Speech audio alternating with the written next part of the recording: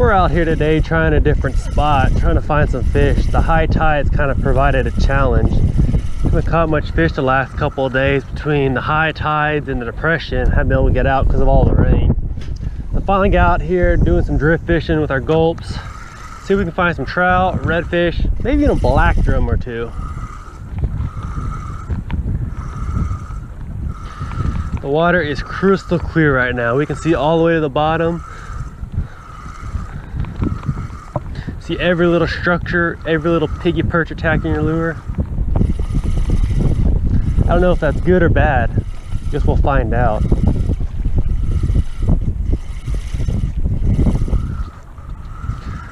See my lure for 20 yards away. Since the water's so clear, I got me some fluorocarbon on. About a foot and a half long section. And since we're fishing heavy grass, got my weedless setup.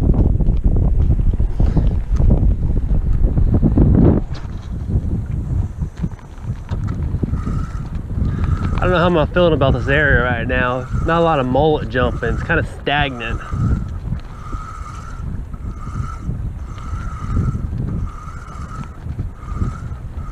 all we can do is take a drift and see what it's like. See if we can pick up a fish or two. If not, move to the next spot.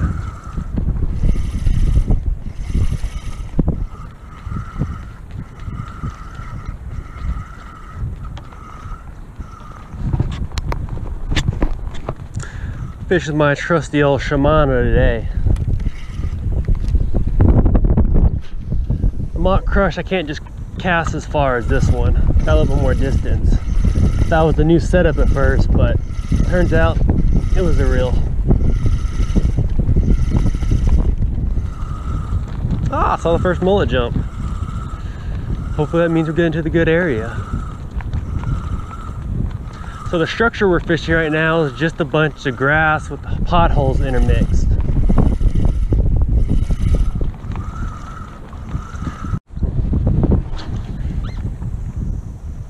we relocated. The area didn't look as good out there. Water is way too clear. Here we got a little bit murkier water which i like. More of a trout green. Hopefully a drum or a, hopefully a trout a little less wind protected here just about 1.5 miles an hour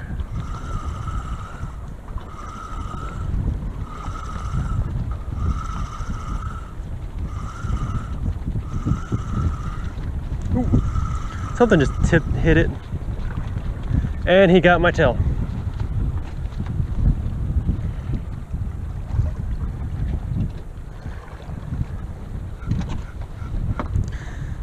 Well, they take your tail, you gotta make a new tail.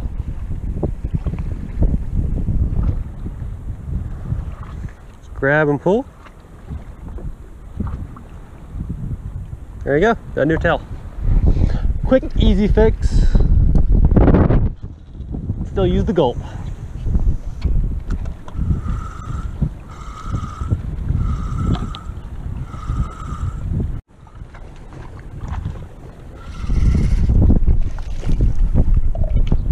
There we go. He's gone.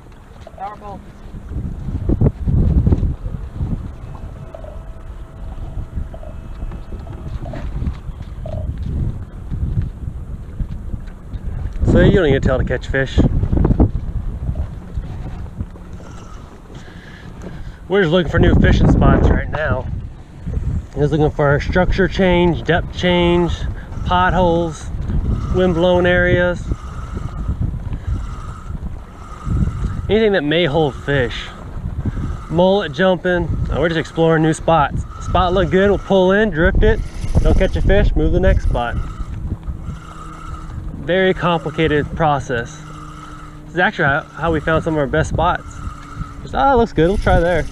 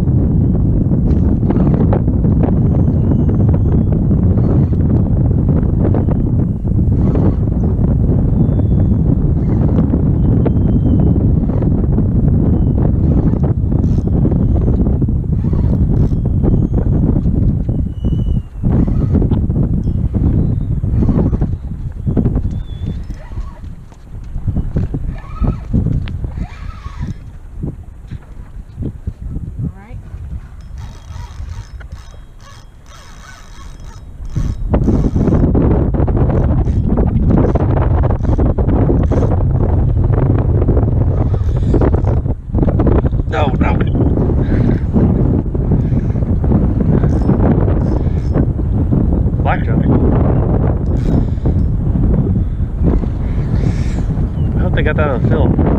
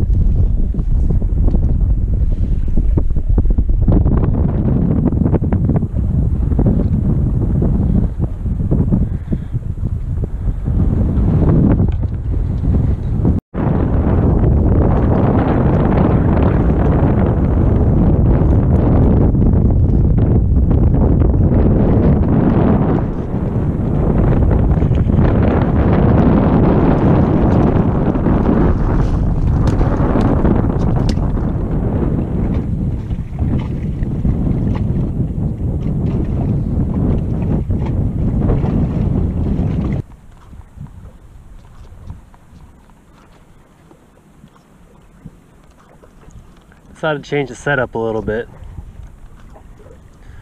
Something a little different. Got a bait caster here, Abu Garcia. Got to a popping cork with the white gulp shrimp. Got me a little eighth ounce steel weight here, the bobber stop. That way the uh, shrimp will sink faster in the water column. A good hit on it earlier, good drum I think. Went 20 feet to the right in about three seconds. Playing with the release.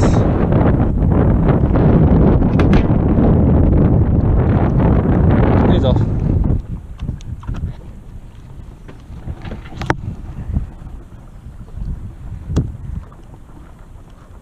Never caught anything like this before, but you're not catching fish, you gotta try something different. Different spot, different setup.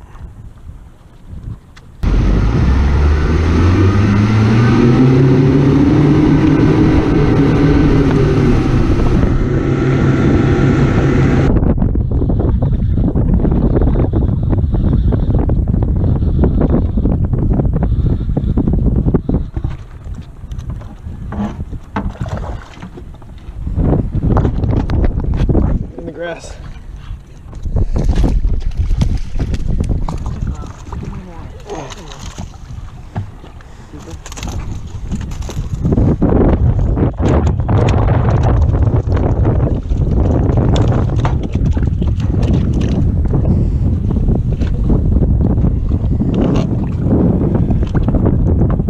Guess the shrimp worked. I was really doubting it.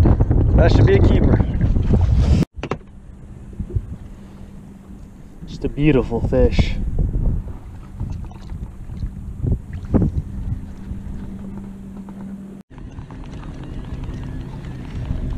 Just had another good trout hit a second ago.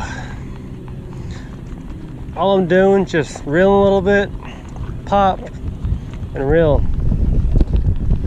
I think they're more in the shallower water. We've been fishing five foot deep water and found some about two and a half, three foot trout green water and had some good hits. We'll be able to pull a couple more out. Can't keep the GoPro rolling all the time. The battery's almost dead. So I'm trying to save it in case we catch a fish. It looks like everybody's having trouble today. Just see boats moving around. See them sit for a little bit, move the next spot. Sit, move the next spot. It's one of those days.